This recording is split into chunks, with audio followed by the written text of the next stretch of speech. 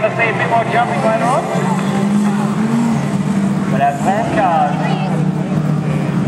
gun number 83 of Scott Wilson, coming to our front stretch, six on board. Go under caution on the outside, gun number 96.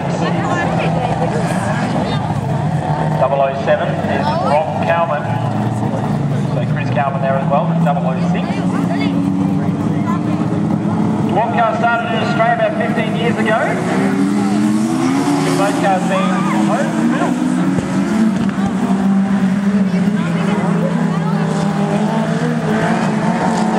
Give the green they come on last, they can draw down, so they demonstrate for these guys uh, what they can do. If you want to become part of this you've got to do that. They range between 5 and 15,000 dollars for these cars both. So you can get one pretty cheap if you want to go motor racing. So leading the way, number 83, Scott Wilson. Scott's trying to get a setup for this car early.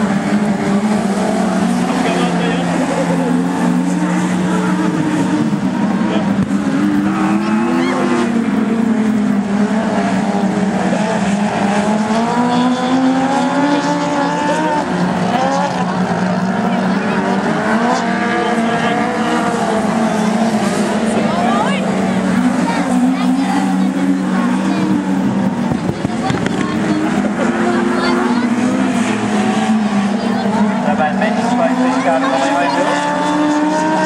A. Motorbike as you can see.